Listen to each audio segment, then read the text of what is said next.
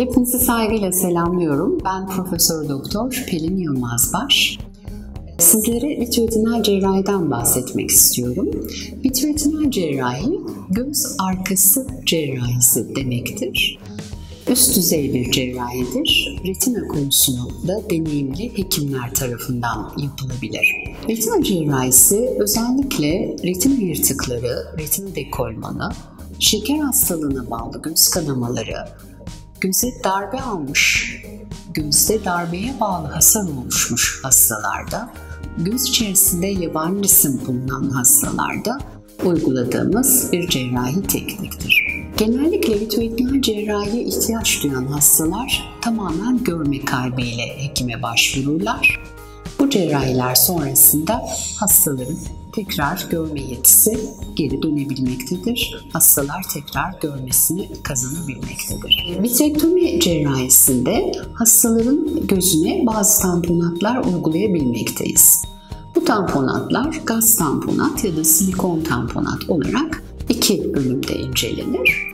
Gaz tamponatlar uygulandığında 1 ila 3 ay arasında hastada görme gelişmez. Gaz sebebiyle hastalar en az bir ay süreyle göremezler. Gaz yavaş yavaş vücut tarafından emilir ve görme başlar.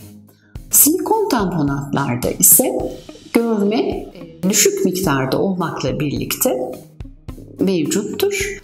Ancak tam görme silikonun yaklaşık 3 ay sonra geri alınmasından sonra gerçekleşmektedir. Çok önemli bir nokta var burada vurgulamak istediğim.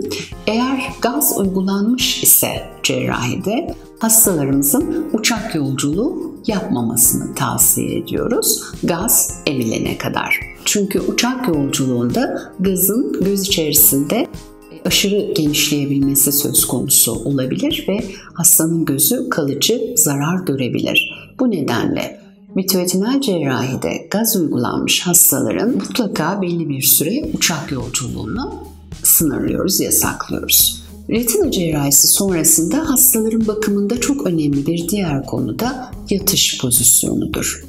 Vitreotinal cerrahi sonrasında gaz ya da silikon tamponat kullandığımız hastalarda özellikle ilk 10 gün mümkün mertebe yüzü koyun, baş ve gözler yere bakacak şekilde karın üstü bir yatış pozisyonu öneriyoruz. Bu şekilde yatamayan hastalarımızda sandalye üzerinde de baş hafif aşağı doğru eğilerek yere bakacak şekilde bir pozisyon ilk 10 gün için önermekteyiz. Bu ameliyatın başarısı için çok elzem bir konudur. Hastalarımızın vitreotinal cerrahiden sonra bize sıklıkla sorduğu bazı sorular var. Onlara da yanıt vermek isterim burada. Hocam yememizde içmemizde bir farklılık olacak mı? Hayır, elbette ki şeker hastasıysanız şekerle ilgili diyetinize ya da kalp hastalığınız varsa bununla ilgili diyetlerinize devam edeceksiniz. Ama göz ameliyatıyla ilgili ayrı bir diyet önermemekteyiz. Vitreoretinal cerrahi için göz kapama uygulaması hekimden hekime değişebilir ama genellikle 1 ila 3 gün yeterli olacaktır. Bir diğer sorulan soru da hastalarımızın ameliyattan sonra kaç gün banyo yapamayacağı.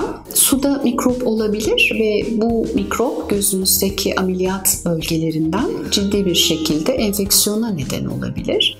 Bu sebeple vitreoretinal cerrahiden sonra hastalarımıza hekimden hekime değişebilir. Ancak en az 5 gün banyo yapmamalarını tavsiye ediyoruz. Bir haftadan sonra banyo yapabilirler. Vitreoretinal cerrahi için vitrektomi cihazları adını verdiğimiz ayrı bir cerrahi sistem gereklidir. Bu sistemler son yıllarda iyice gelişmiştir ve cerrahi başarı şansı artmaktadır.